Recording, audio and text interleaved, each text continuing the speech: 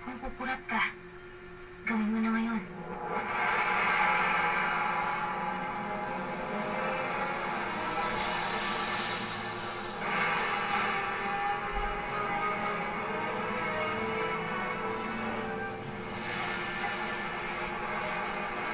Tandaan mo ang lahat ng bagay na iyong makikita at maririnig. Kahit na gaano pa kapambihira ito.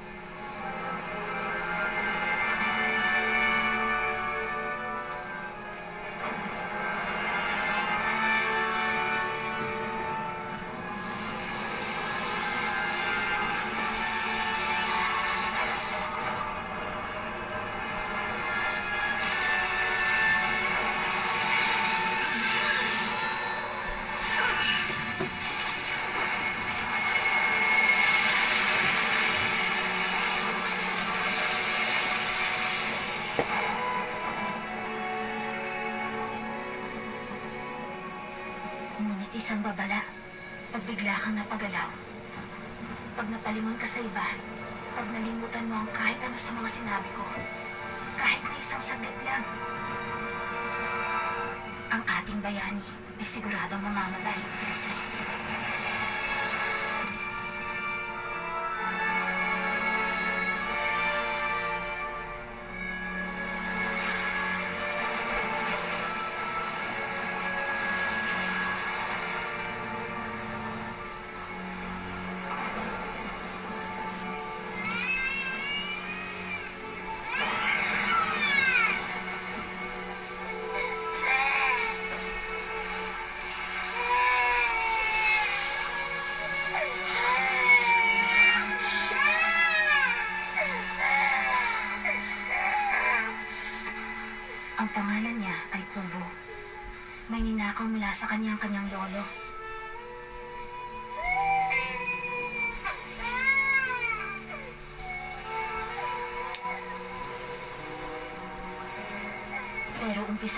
Umpisa pa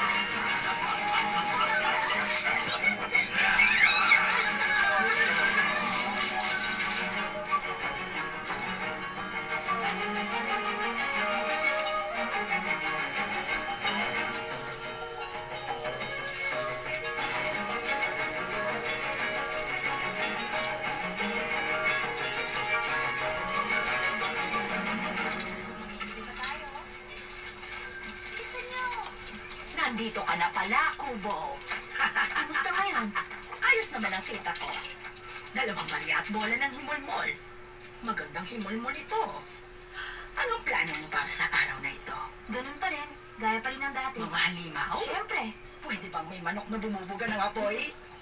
yung manok na naman. Nakakatawa kaya yung manok. Konting katatawanan para lang pambalanse. Kapag ginawa mo yun, siguradong hahagisan kanila ng pera. O baka ibang hagis nila, ewan ko. Sige, titinan ko kung pwede. Siya nga pala, iho. Balak mo ba tapusin ang kwento ngayon?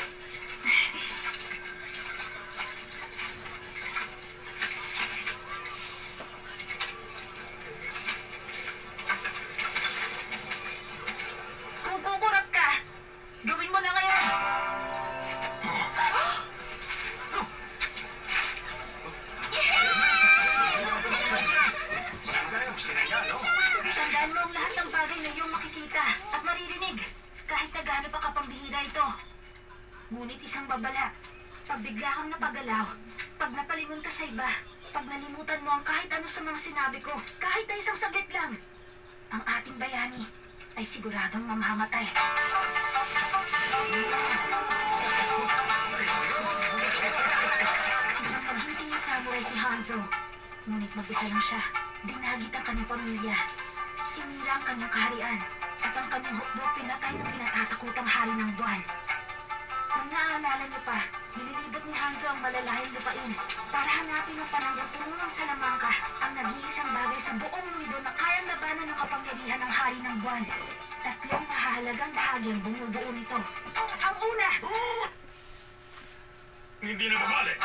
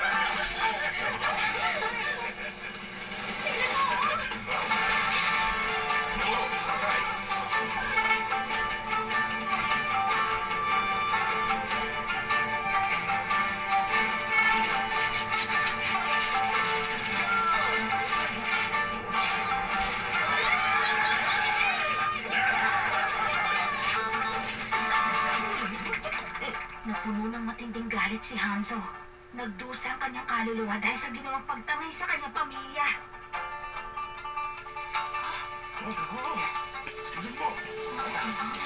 Sa wakas, kaharap na ng ating bayani ang kanyang mortal na kaaway, ang hari ng buwan.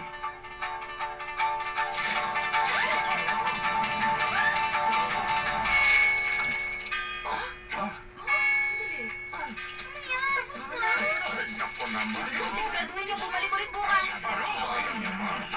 Ano ka ba naman? Na lang kasi. Saan saan ka pupunta? Hindi pa pwede. Hindi ka pwede umalis.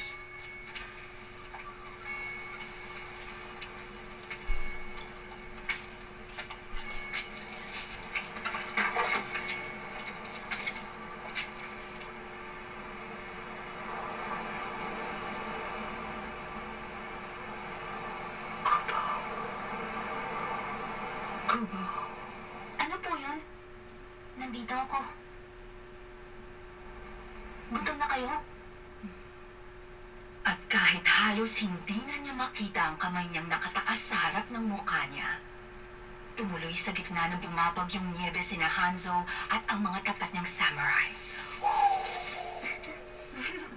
Pero kung gaano kabilis nag-umpisa yung bagyo ng niebe, ganun rin ito kabilis naglaho. Napabuntong hininga si Hanzo dahil nakarating siya sa kanyang tahanan. Sa Kastilyo? Nang hanggang sa Lagubang? Tama, sa dulo ng malalayong lupain. Nakakubli yun mula sa hari ng buwan gamit ang mahika. Tapos ano nangyari nung makarating na siya ron? Sinong nakarating doon? Si Hanzo, ang tatay ko. Si Hanzo. Nandun si Hanzo sa Kastilyo. Siya... Sandali lang anak, parang... Hindi, hindi. Nawala na. Hindi ko na... Pasensya ka na, Kubo. Baka naman meron akong maalalang ibang kwento. Nanay, pwede niyong inarawan si tatay? Naku, madali ko magagawa yan. Magiting naman dirigma si Hanzo. Napakahusay niya sa espada at pana. Hindi po. Anong klaseng tao po siya? Kapag wala siya sa labanan, pagkasama natin siya. Manang-mana ka sa kanya. Talaga, Nay? Oo, malakas at matalino, nakakatawa, at saka uod ng gwapong lalaki. Ano ba? Ito naman. Kahit kailan, huwag mong kakalimutan kung gaano kanya kamahal, Kubo. Namatay siya sa pagprotekta sa atin. Yung hari ng buwan, Teka, siya ang lolo mo, anak. pinatay ba talaga ni Lolo at ng mga kapatid mo ang tatay ko? Hindi yung totoo, di ba, Nay? Pamilya natin sila. Hindi, dahil mga halimaw sila. Kinuha ng lolo mo at mga kapatid ko ang mata mo, Kubo. Kaya hindi ka nila pwedeng matagpuan. Kahit kailan. Huwag na huwag kang lalabas pagsapit ng gabi, kundi matutuntun ka nila at kukunin ka mula sa akin. Mangako ka. Hindi mo hahayaang mangyari yon. Mangako ka, Kubo.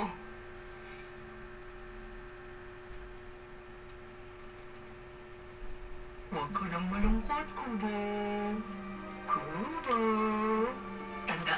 Dapat mong gawin, Kubo. Palagi mong tandaan. Dapat kasama kita sa lahat ng oras, Kinumunggoy. Ah, At kailangang suot ko itong damit ni tatay sa lahat ng oras anumang mangyari. tama, Kubo. Tandaan mo rin ang bagay na ito.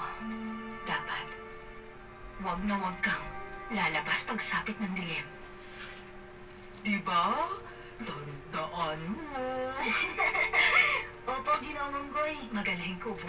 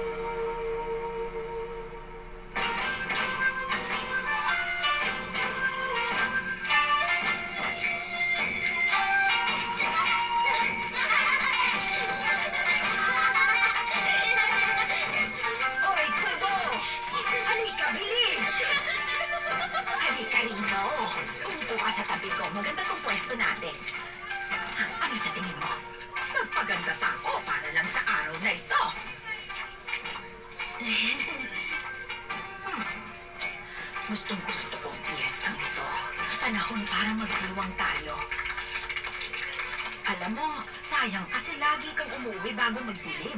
May mga paputok at kantahan at sayawan at syempre may kaalilan din. Pero ang pinakagusto ko sa lahat, kita mo ba yung mga altar at pailaw? Ginagamit ang mga yon para kausapin ang mga yumao nating minamahal. Nakikinig kami sa mga kwento nila at ginagabayan sila sa kanilang pagbalik sa lupain ng kaligayahan. Talaga? May nakausap na po kayo? Oo, meron na. Ang asawa ko, ang boses niya ay kasing linaw at kasing lakas ng boses na ginagamit mo sa pagkwento. Tahimik siya ng 72 taon, pero ngayong wala na siya, di siya tumitigil. Meron ka bang gustong makausap? Gustong gusto po. Ano sa'yo? Wala po kasi akong ilaw. Pero, tingin ko, kayang-kaya mong gumawa ng napakagandang ilaw. Magaling ka sa pagtiklop-tiklop. Hindi ba, Kubo? Kita mo na? Matalino na. Maganda pa. Umpisahan mo na. Sige na. May oras ka pa bago magdilim. Bilis, umalis ka na.